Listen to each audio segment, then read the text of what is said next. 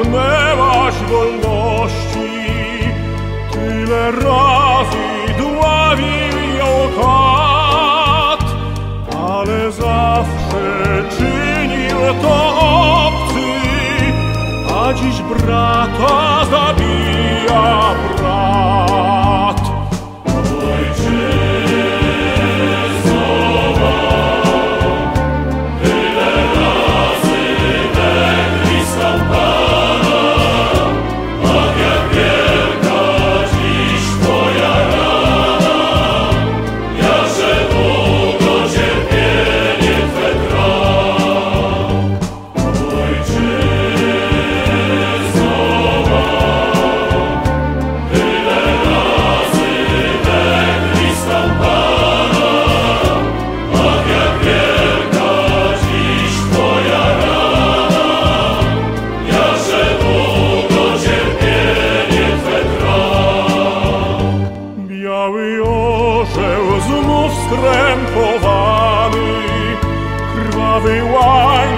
Łańcuch zwisał szponę, lecz już wkrótce zostanie zerwany.